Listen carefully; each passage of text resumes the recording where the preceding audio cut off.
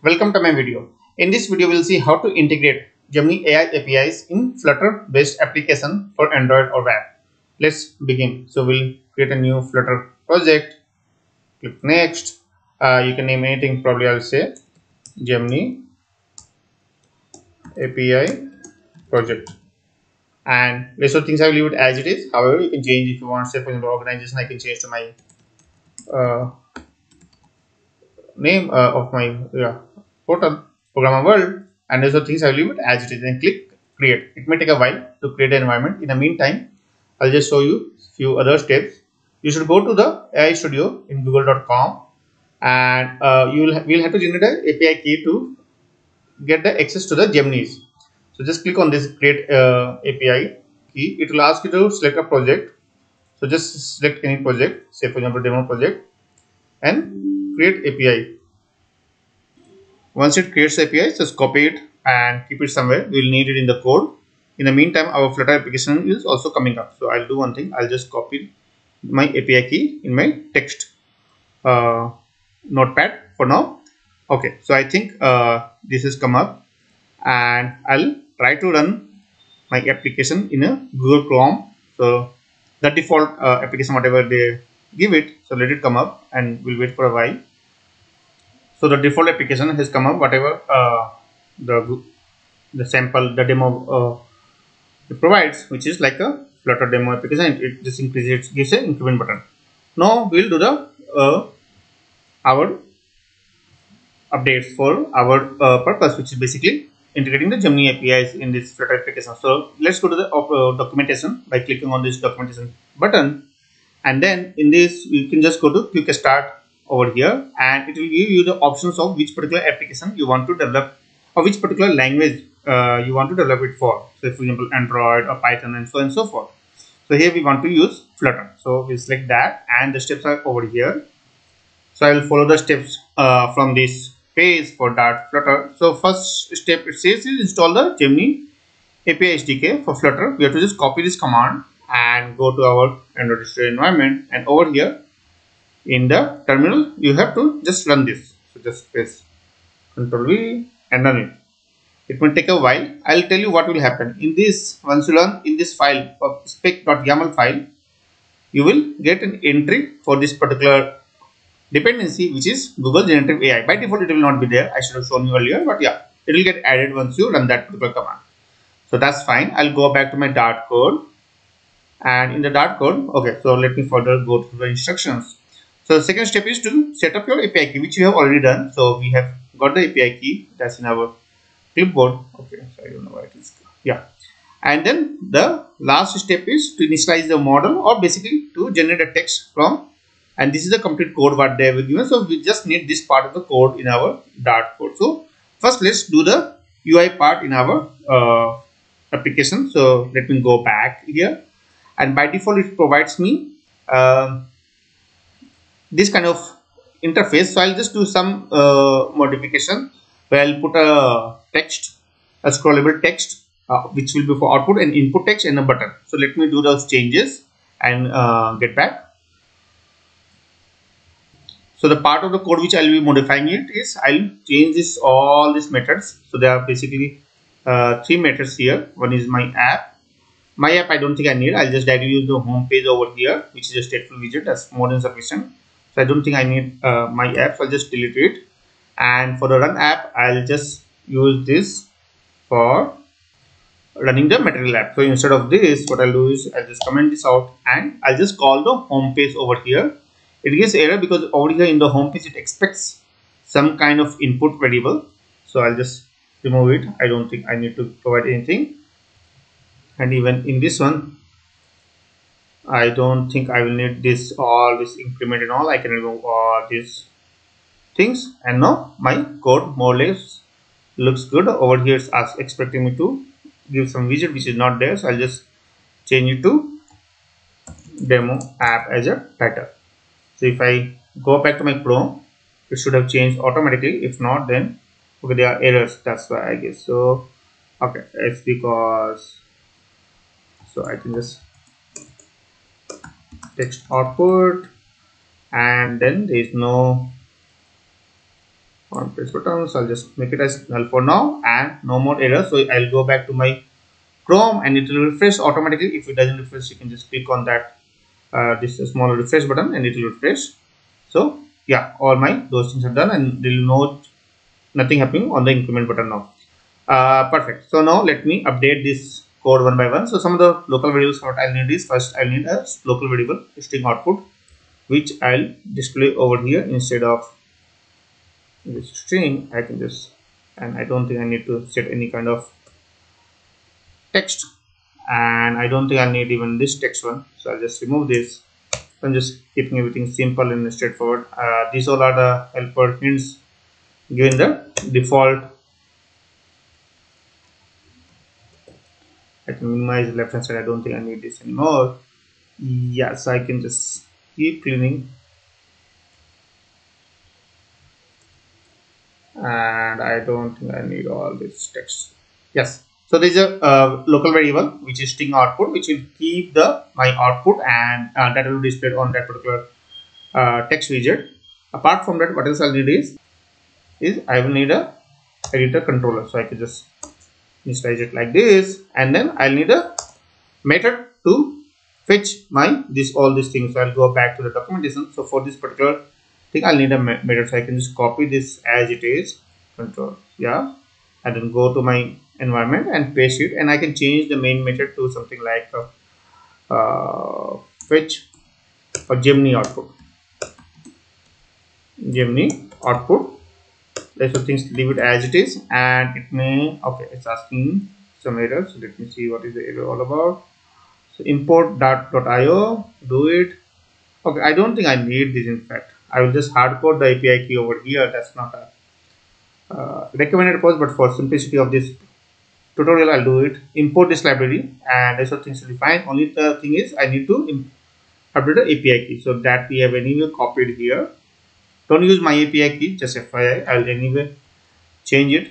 Uh, and over here by default, they give some kind of uh, content, uh, write a story, but we'll be taking the content from our this controller. So what we'll do is we'll do one thing wait I think we can just remove this also and I'll just check first if text view controller dot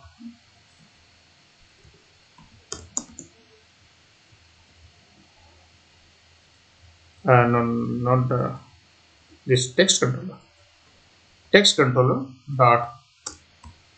Text. If it's empty then just return this method. Don't do anything. Otherwise just proceed and over here probably I'll do one thing. I'll just control I shall fetch it over here first.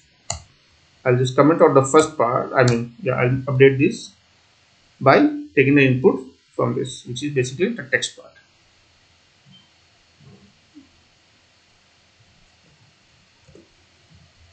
perfect so now in terms of method we are done we should now focus on completing our widget part. So first part is fine. We'll leave the app bar as it is. Now coming to the body uh, center alignment, uh, all the things are fine. Now the text, this text should be changed to some kind of scrollable text. So what I'll do it is I'll update this text widget to something called expanded uh, text widget. There's things uh, as it is. The only thing is there is a scroll view inside this. Okay, so alignment to just make the alignment fine. Uh, just press okay. This was some issue just select everything control a and control alt i will make all the alignment perfectly fine as required so this is for the first uh, uh, widget which is the child widget which will be taken care and after that we'll in input uh, another widget which is basically for taking the inputs from the user so we'll do one thing we'll just put a text field and in that text field we'll use a text controller whatever we have initially initialized.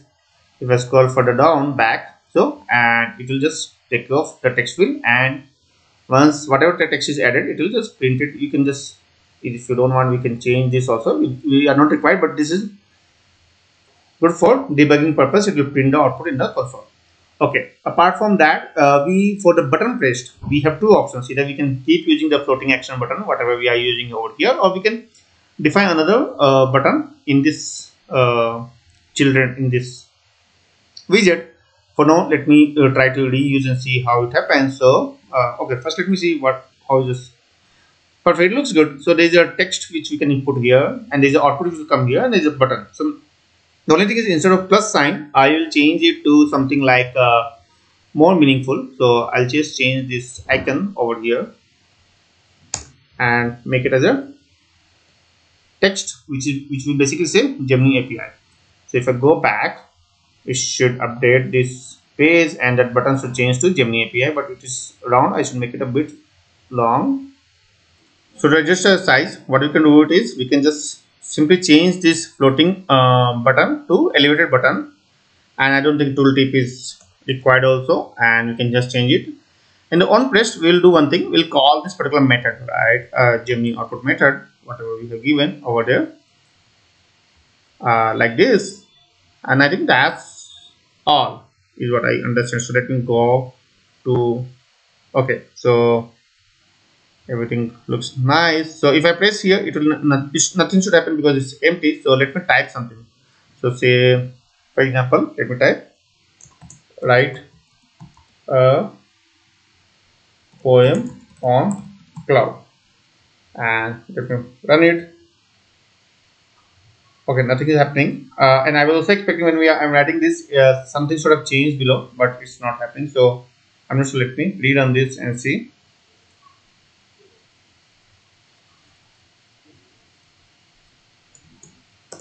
so because why I was expecting something if I write uh, there should be changes over here in the terminal or not not internal I think over here in the output window. So if I know write okay it's happening. Write a poem on cloud and starts it's just a like random prompt i'm giving and then i'm pressing this button.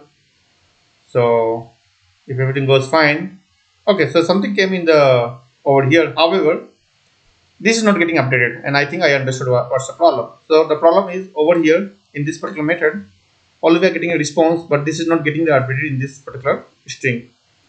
So for that what we can simply do it is we can simply just add here set a state and this will get updated. And the moment it gets updated it will also update the respective text widget uh, output as well. So let me go back here and again try it. Write a, a story about uh, a bedtime write a bedtime story write a bedtime story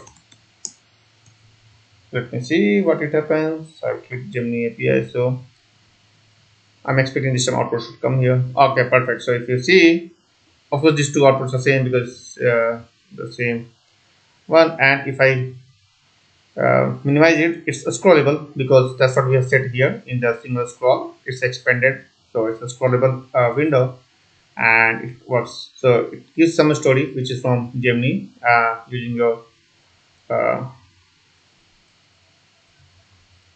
uh, API and it brings the output over here. So that's all for production uh, purpose. I'll just remove all these print statements those are anyway not required so simply i'll just remove this definitely not required. In fact i think i can not see if i can remove the complete on change. Okay i can change it on change itself and one more i'll remove it. Is this one. Uh, there was a print here which is also probably i'll avoid so yeah. So after removing i just restarted application. And just i tap power Gemini and she gives some nice answer uh, over here in this application. So perfect. So i'll put it back. And i also do one thing. I'll just quickly run this in the android uh, emulator to show how it works there. Let me start. Okay app has come up in android studio. So let me just quickly start testing it. So i'll just uh, do something with I'll just ask it to write a write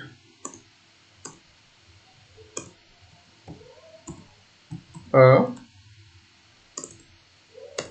poem on sunshine. So and then click on this then wait for a couple of minutes for it to bring the output over here. Perfect. So it has brought the output or whatever like I can zoom it and show. So it can print it. So that's all i wanted to show you in this uh, uh, video. Okay poem is playing wrong but i think that's fine in this video that how uh, easy it is to just integrate follow the steps over here. This is a main method where you have to uh, update here and uh, generate the api key from your uh, ai studio and then use it in the code. So that's all. I hope this video is useful to you. If you have any questions or suggestions then please put in the comment section below. And if you like this video then please subscribe to my channel. Thank you and have a nice day. Bye